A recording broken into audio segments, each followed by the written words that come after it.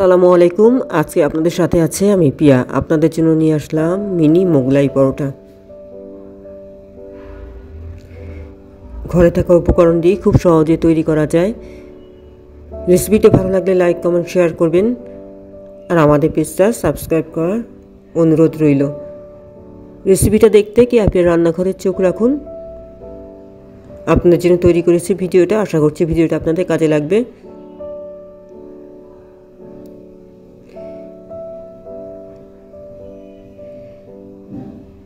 বাচ্চা থেকে আরম্ভ করে বড়রা সবাই পছন্দ করবে, এমনকি মেহমান আসলে ঝটপট সহজে তৈরি করে সামনে দিতে পারবেন মেহমানকে বসিয়ে রেখেই।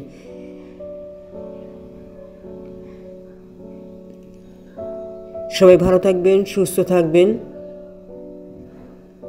আমাদের পাশে থাকার জন্য সবাইকে অনেক ধন্যবাদ। সামনে আরও নতুন নতুন রেসিপি আপনাদের জন্য নিয়ে আসব। এ পর্যন্ত, আল্লাহ হাফিজ।